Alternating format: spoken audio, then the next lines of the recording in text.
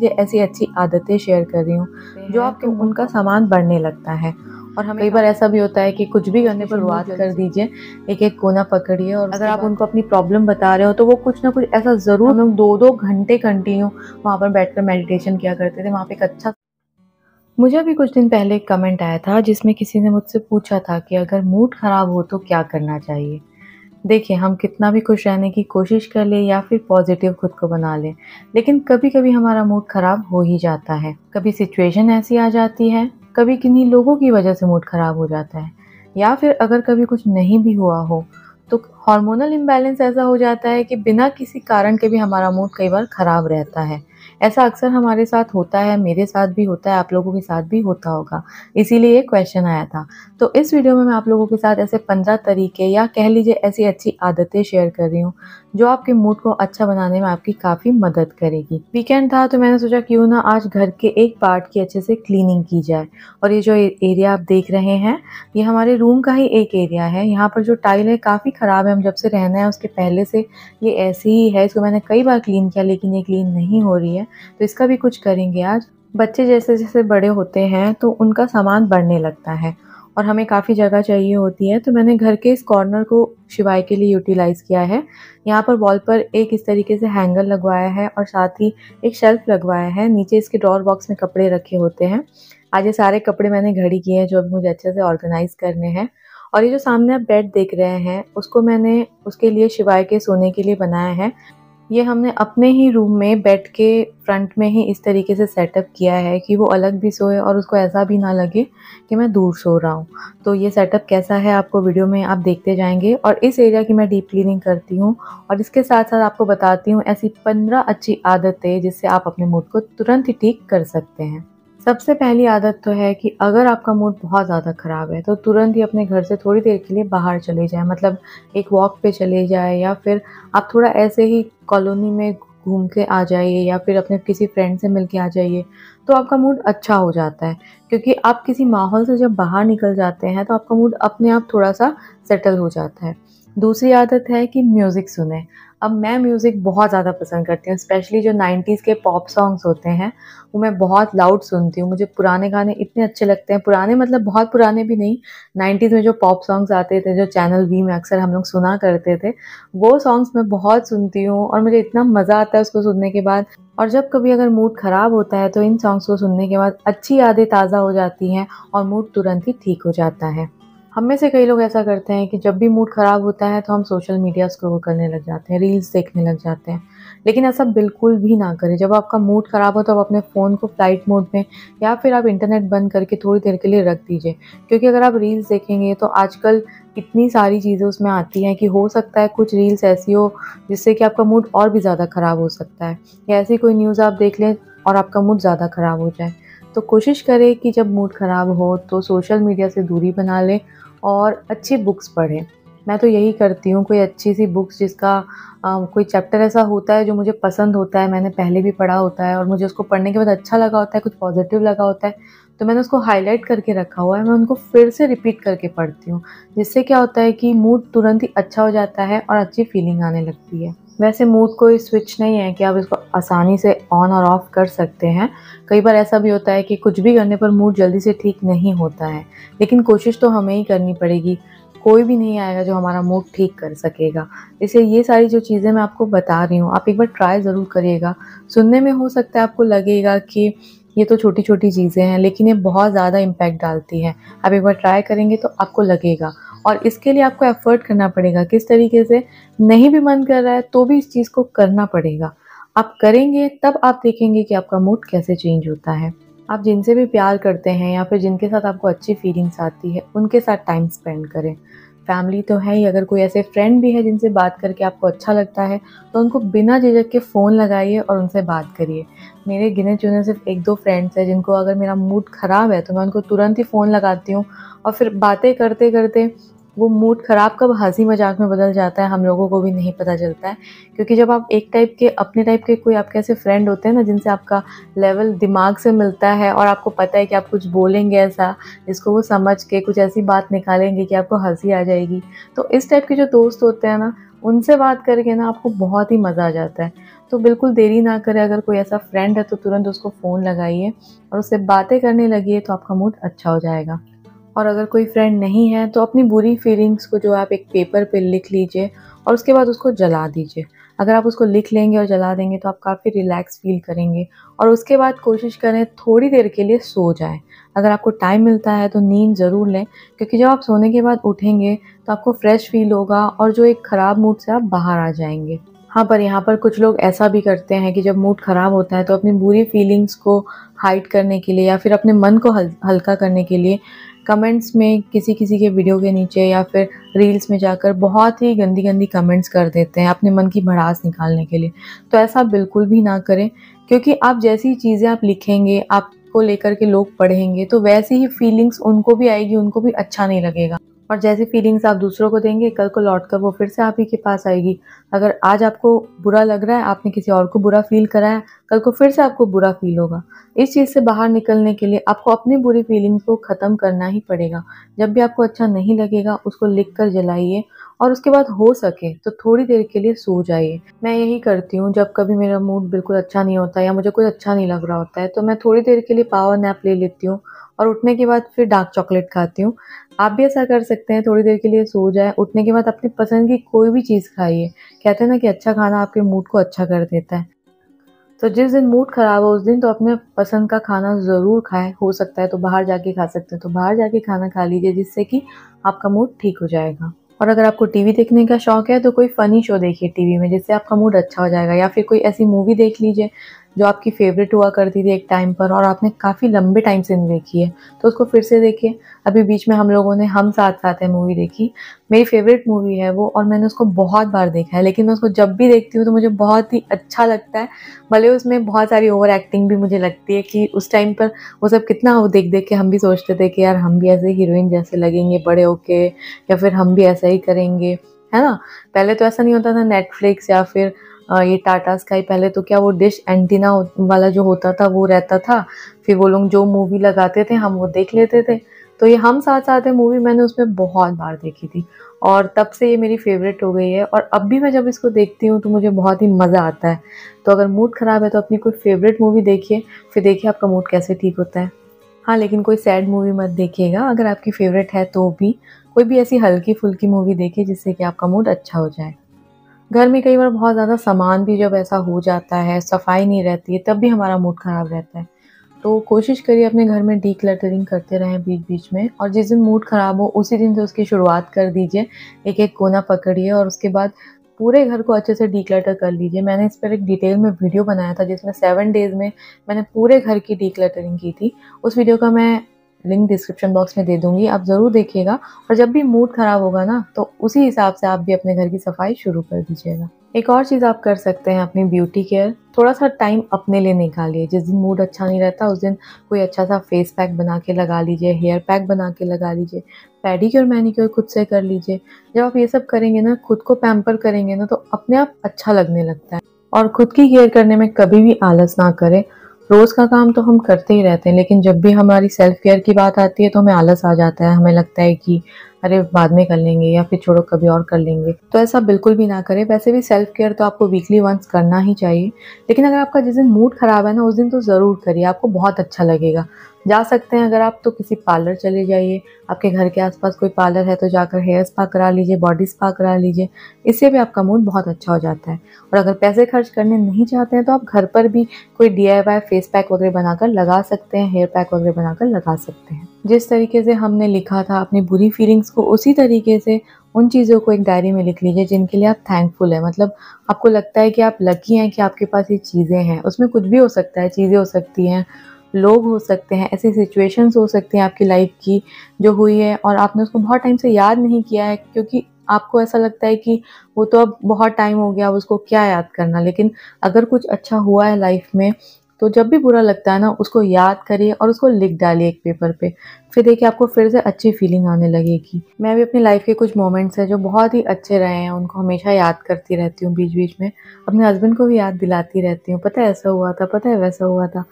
तो अपने आप मूड अच्छा हो जाता है और जब एक बात शुरू होती है ना तो उसके बाद दूसरी, तीसरी निकलते ही जाती है और कब मूड अच्छा हो जाता है पता ही नहीं चलता। इसी तरीके से कुछ पुराने फोटोग्राफ्स हैं, जो प्रिंट किए हुए फोटोग्राफ्स होते हैं ना, पुराने हमारे बहुत पुराने पुराने जैसे रहते हैं। उसको देख लिया करें।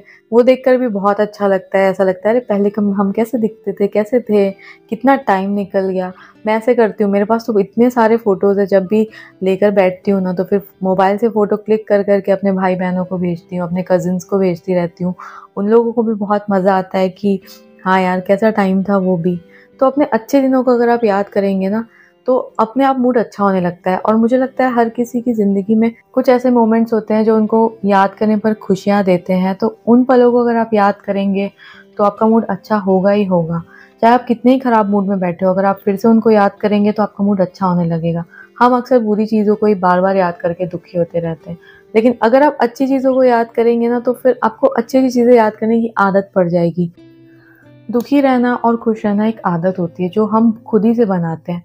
अगर आपको आदत है हर चीज़ में बस दुखी रहने रहने की तो अगर कुछ अच्छा भी होगा ना, फिर भी आप थोड़े टाइम के लिए अच्छा फील करेंगे, लेकिन फिर आपको दुख दुख किसी चीज़ का होगा या फिर मूड ख़राब होगा, क्योंकि ये एक आदत बन जाती है।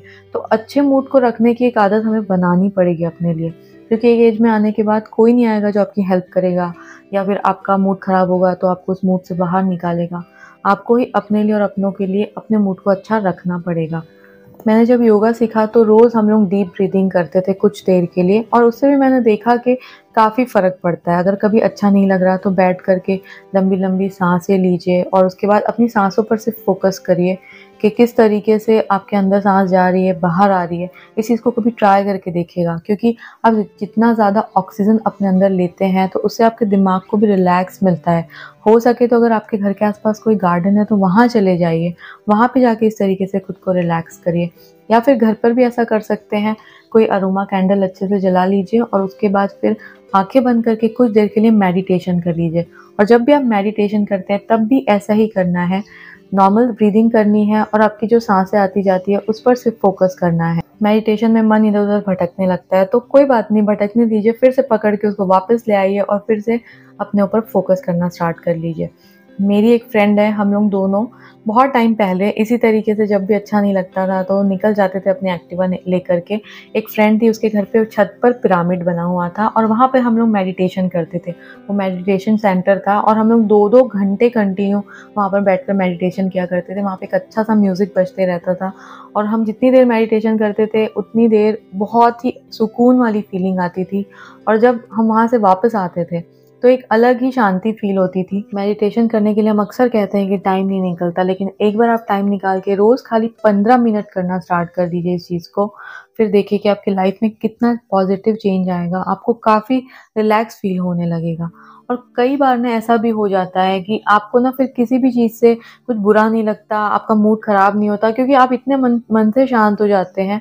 कि आपको फिर बहुत ही अच्छी ही फीलिंग आती रहती है हमेशा। मैं भी उस लेवल पे पहुँचना चाहती हूँ, अभी तक पहुँच नहीं पाई हूँ, क्योंकि मुझे भी कभी कभी बहुत मूड ख़राब लगता है कभी कभी बिना मतलब के बहुत रोना आता है, चिड़चिड़ होता है। तो इन सब चीज़ों से निकल कर मैं चाहती हूँ थोड़ा सा लाइफ में शांति रहे और मेडिटेशन बहुत ज़रूरी है बुक रीडिंग बहुत ज़रूरी है और ये सारी चीज़ें आपको बहुत हेल्प करती हैं। एक चीज़ आप और भी कर सकते हैं। आप चाहे किसी भी धर्म के हो, आप अपने जो भी मंदिर, मस्जिद या गुरुद्वारा जो भी मानते हो, आप वहाँ पर चले जाइए थोड़ी देर के लिए। वहाँ की एनर्जीज इतनी ज़्यादा अच्छी होती है पॉजिटिव होती है कि आप थोड़ी देर भी वहाँ जाकर बैठते हो ना तो आपको अच्छा लगने लगता है।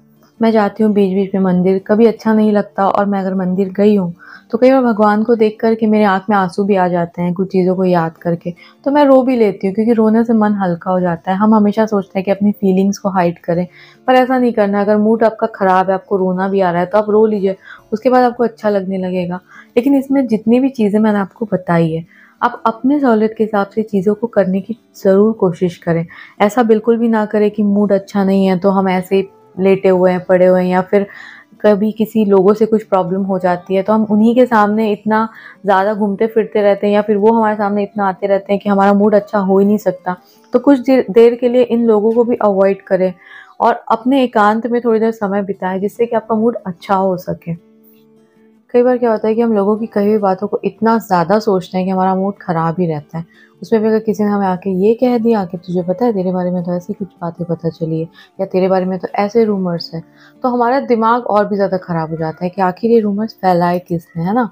तो इससे बचने के लिए एक ही तरीका है कि इन सब बातों को अवॉइड करें, क्योंकि इन सब बातों का कोई अंत नहीं है, और ऐसी बातों को बिल्कुल भी एंटरटेन ना करें। अगर कोई बोलता भी है तो बोलिए कि ठीक है और फैलाओ, जितना फैलाना है हमको कोई फ़र्क नहीं पड़ता। खुद पर आने ही ना दें, क्योंकि कुछ लोगों की आदत होती है। अगर वो अपनी लाइफ से खुश नहीं है तो फिर वो आपको भी खुश नहीं रहने देना चाहते हैं। कुछ ना कुछ ऐसा करते रहते हैं, जिससे कि आप भी दुखी हो या आपकी लाइफ में भी प्रॉब्लम्स आ जाए।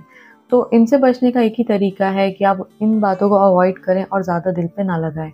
क्योंकि बार बार आप हर चीज़ को लेकर के अपना मूड ख़राब करते रहेंगे तो फिर आपका भी वैसा ही नेचर बन जाएगा और फिर आपको कोई थोड़ा भी कुछ बोल देगा तो आपका मूड ख़राब हो जाएगा, फिर मूड ख़राब रहेगा तो कोई काम करने का मन नहीं करता, फिर ऐसा लगता है बस ऐसे ही बैठे रहो, पड़े रहो, सब चीज़ें बेमतलब की लगने लगती है। तो लाइफ में इंटरेस्ट हमें लाना पड़ेगा, खुद को खुश रखना पड़ेगा, तभी हम अपनी लाइफ को अच्छे से जी पाएँगे।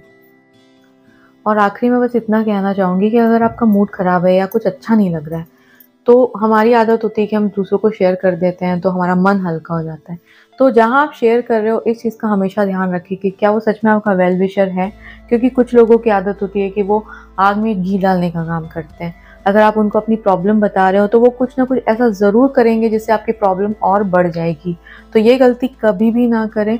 अगर आपका मन अच्छा नहीं है तो आप कोई अच्छा सा पॉडकास्ट सुन लीजिए, जिसमें कुछ पॉजिटिव बातें बताई हुई हो तो आपका मन अच्छा हो जाएगा। वैसे मैं भी अपने चैनल पर एक पॉडकास्ट करके एक प्लेलिस्ट बना रही हूँ, जिससे कि आपको कभी अच्छा नहीं लगेगा तो आप मेरे वीडियोस भी सुन सकते हैं, क्योंकि कई लोगों को मुझे सुनना अच्छा लगता है, ऐसा लिखते हैं वो लोग। तो आप लोगों के लिए स्पेशली मैंने इस प्लेलिस्ट को बनाया है। आप चाहें तो जब भी आपका मूड अच्छा नहीं है तो आप बैक टू बैक ये वीडियोज़ देख सकते हैं। तो हो सकता है कि आपको मेरी किसी बात से अच्छा लग जाए और आपका मूड ठीक हो जाए। तो दोस्तों, ये थी छोटी छोटी बातें जिसको अपना कर आप अपने मूड को ठीक कर सकते हैं। और अपनी लाइफ को फिर से नॉर्मल रूटीन पर ला सकते हैं। लाइफ में कुछ ना कुछ लगा ही रहता है लाइफ इतनी ईजी नहीं होती है। और जैसे जैसे हम बड़े होते जाते हैं, मैं हमेशा कहती हूँ कि प्रॉब्लम्स कुछ ना कुछ बढ़ते हैं। तो अपने आप को हमेशा प्रिपेयर करके रखें छोटी छोटी बातों को दिल से ना लगाएँ, किसी बात पर मूड ख़राब करके अपना दिन ख़राब ना करें। एक एक दिन बहुत कीमती है। आप देखिए, अगर आपको ज़िंदगी मिली है तो उसको बहुत अच्छे से जिए। जब तक कि जीना है, तब तक अच्छे से जीना है, ये सोचकर। ऐसा नहीं कि हम बस मूड ख़राब करके अपना टाइम वेस्ट कर रहे हैं। कई बार ऐसा होता है कि हमारा मूड ख़राब है तो हम कितने कितने दिन, महीनों ऐसे ही निकाल देते हैं। लेकिन ये लाइफ वेस्ट करना है तो अपनी लाइफ को वेस्ट मत करिए। आप चाहें तो उन्हीं दिनों को बहुत इंटरेस्टिंग भी बना सकते हैं अपने कुछ एफर्ट्स से। और चलिए अब मैं आपको दिखाती हूँ ये वाला सेटअप जो मैंने अभी क्लीन अप किया है यहाँ पर। और ये किस तरीके से मैंने बनाया वो भी बताती हूँ। ये वुडन पैलेट्स हैं जिसको हमने बेड बनाने के लिए यूज़ किया है। इसको हमने कहीं से रोड साइड में कहीं पर मिल रहे थे, वहाँ से लिया हुआ था। और ये काफ़ी कम प्राइस में मिल जाते हैं। ये रेंटल फ्रेंडली अगर आप चाहें, अगर अपने रेंटेड अपार्टमेंट में आप इसको लिविंग रूम में भी यूज़ कर सकते हैं। इसको हमने बेड तरीके से बनाया है। और मेट्रस हमारे पास ऑलरेडी था ही। तो हमने इसको लेकर के इसमें अच्छे से कलर करवा लिया ताकि इसमें कुछ भी अगर लगा हो तो वो निकल जाए और कलर कराने के बाद इसका लुक भी बहुत अच्छा हो जाए। आप ऐसे पैलेट्स लेते हैं तो कलर ज़रूर कराएँ क्योंकि इसकी जो लकड़ी होती है वो बहुत ज़्यादा अच्छी नहीं होती है। तो हो सकता है इसमें कुछ छोटे मोटे कीड़े लगे होंगे तो आपके मैट्रेस को भी ख़राब कर सकते हैं। लेकिन कलर कराने के बाद ये काफ़ी सेफ़ हो जाता है और बारिश के सीज़न में इसको ना ख़रीदें क्योंकि बारिश के सीज़न में अच्छे नहीं मिलते हैं। उसके साथ ही ये मैट्रेस था, मैंने इस पर एक वीडियो बनाया था, ये एक डी मैट्रेस है। ये था तो हमने इसके ऊपर रखने के लिए इसी का यूज़ किया। ये स्लिप ना हो जाए, इसलिए यहाँ पर मैंने एक योगा मैट का यूज़ किया था, जिसके ऊपर मैं मैट्रेस को रखती हूँ। और शिवाय बड़ा हो रहा है तो उसका सामान बढ़ रहा है तो इस तरीके से यहाँ पर थोड़ा सा सेटअप किया हुआ है वॉल पर ही, जिससे कि बहुत सारा सामान एक साथ आ जाता है। उसके बाजू में उसका बेड का सेटअप कर दिया है। जो कि हमारे बेड के अपोजिट में है, ताकि सामने ही रहे और वो अपना आराम से अलग सो भी सके। तो अगर आपके रूम में स्पेस कम है तो आप इस तरीके का सेटअप कर सकते हैं। और ये जो मैंने आपको दिखाया था कि टाइल्स ख़राब हैं तो इसके ऊपर ऐसा रग बिछा दिया है ब्यूटीफुल सा, जिससे इसका लुक अच्छा हो गया है। और ये जो सेटअप हमने किया है वीकली वंस मैं इसको अच्छे से डीप क्लीन करती हूँ, ताकि नीचे की तरफ़ में जो भी अगर कुछ धूल मिट्टी हो तो वो निकल जाए। समर स्टार्ट होने से पहले मैंने ये हैंडलूम कर्टन भी मंगवाए थे मस्टर्ड येलो और वाइट कलर में। ये दिखने में बहुत ही सुंदर दिखते हैं फ्रेंड्स इससे रूम का लुक बहुत ही अच्छा आता है स्पेशली समर में काफ़ी कूल लुक देते हैं। और इसको मैंने फुल लेंथ में मंगवाया मतलब विंडो की साइज़ फाइव फीट होती है, लेकिन मैंने इसको सेवन फीट का मंगवाया, ताकि अगर मैं चाहूँ तो लिविंग रूम के किसी डोर में भी इसका यूज़ कर सकूँ। तो उम्मीद करती हूँ दोस्तों कि ये वीडियो आप लोगों के लिए यूज़फुल रहेगा। आप लोग सब लोग बहुत खुश रहिए, ऐसी मेरी कामना है। आप लोग भी मुझे बहुत सारी ब्लेसिंग्स देते रहते हैं तो मुझे बहुत अच्छा लगता है पढ़ के। उसके लिए आप सभी को थैंक यू और अगला वीडियो मैं लेकर आ रही हूँ आप लोगों की डिमांड पर कि अपने पैसों को कैसे बचाएँ और अपने घर का बजट कैसे बनाएँ। बहुत सारे लोगों ने इसके लिए कमेंट किया है। तो नेक्स्ट वीडियो यही लेकर आ रही हूँ तो वीडियो ज़रूर देखिएगा। और ये वीडियो कैसा लगा प्लीज़ मुझे कमेंट करके ज़रूर बताइएगा। चलिए फिर मिलती हूँ अगले हफ़्ते बहुत ही इंटरेस्टिंग वीडियो के साथ। तब तक के लिए बाय बाय